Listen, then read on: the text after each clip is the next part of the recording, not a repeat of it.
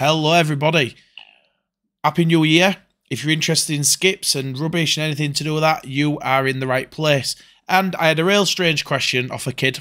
So we're going to do a video today about wind turbines because we've got really bad storms and these wind turbines are blowing down all over. I've spent the last couple of hours getting all the videos and we are going to look at some wind turbines setting on fire and blowing up in the UK.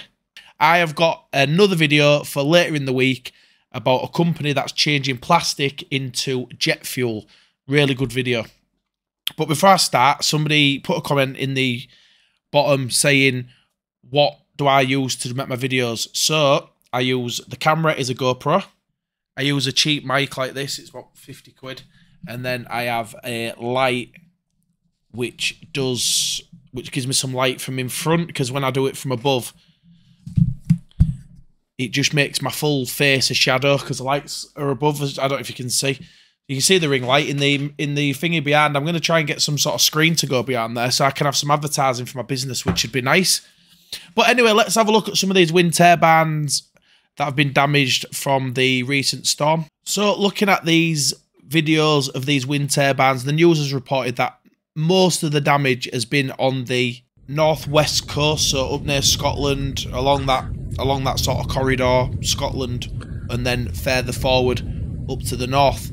Fail is just two seconds. I'm going to tell you how, how it works. So this wind turbine, the newspapers are reporting that it basically span out of control. It went that fast. The motor inside, which creates electricity, basically span so much out of control it disintegrated the inside of it and cooked it. And then on this part of the video, you can see the blades completely blow apart because it's going too fast. At the end of the day, they're not air they're set for a certain aerodynamic speed, and anything above that, they're they're not aerodynamic at all, and they will just blow to pieces.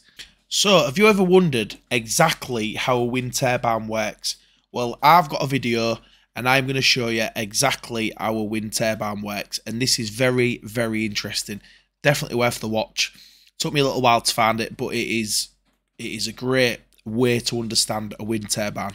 So basically, you have propeller, a drive shaft, a gearbox, and a generator.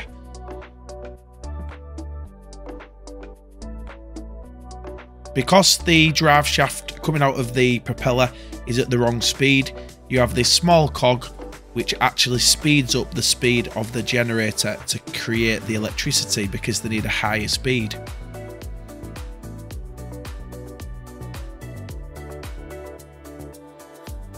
This rotor spins inside what is in essence a drum of copper coils which excites the electrons creating electricity. This process works exactly as the alternator does on your car. This electric then travels down a cable in the centre of the wind turbine and then goes to a transformer which converts it to a higher voltage so it can travel a further distance. The power is then transported through high power voltage lines. It then goes into a transformer station where the electricity is stepped down and that step down makes the electricity usable within a home or a business, creating a circuit and that is how a wind turbine works. So I hope you enjoyed this video. It's only a short one because I'm going to watch the darts and by the time this video comes out we'll know if he's won or lost big news for the UK if the man wins. Anyway, I hope you had a great new year, a great Christmas, and I'll see you in the next video. Bye.